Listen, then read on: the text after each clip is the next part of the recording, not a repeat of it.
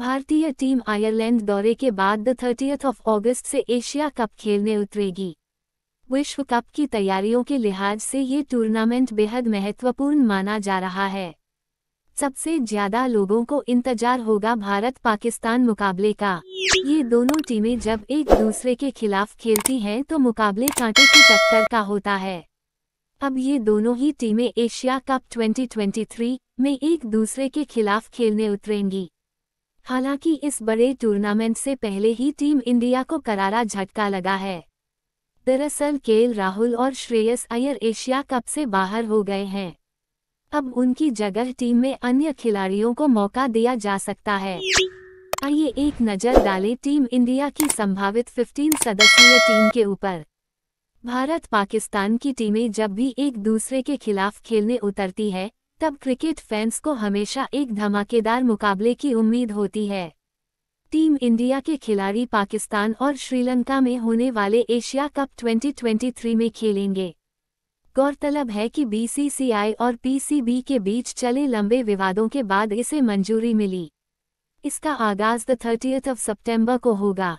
इस टूर्नामेंट में जब भारत और पाकिस्तान की टीमें एक दूसरे से टकराएँगी तो एक हाई वोल्टेज ड्रामा वाले मुकाबले की सबको उम्मीद होगी।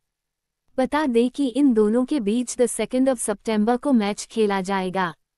एशिया कप 2023 में भारतीय टीम जब खेलने जाएगी तो उनका मकसद इस टूर्नामेंट को जीतकर विश्व कप 2023 की तैयारियों को पुख्ता करने का होगा।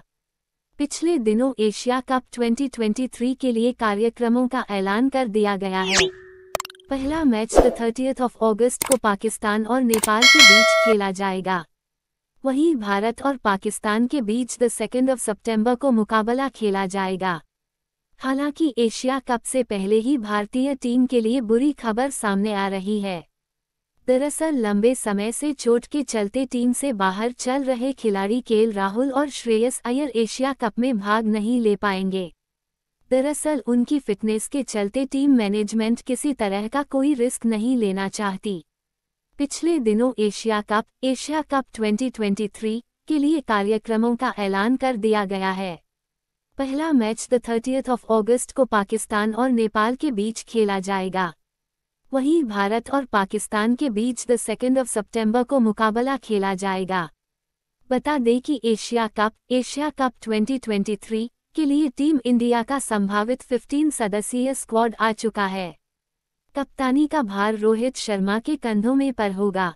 बल्लेबाजी, एशिया कप में ओपनिंग की ज़िम्मेदारी रोहित शर्मा और शुभमन गिल पर होगी।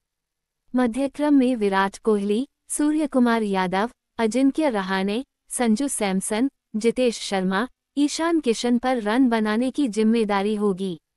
वहीं टीम में ऑलराउंडर की भूमिका में हार्दिक पांड्या, रविंद्र जडेजा और अक्षर पटेल होंगे। गेंदबाजी गेंदबाजी की अगर बात करें तो कुलदीप यादव स्पिनर के तौर पर होंगे। तेज गेंदबाजी की ज़िम्मेदारी मोहम्मद शमी, मोहम्मद सिराज, शार्दुल ठाकुर, मुकेश कुमार के पास होगी।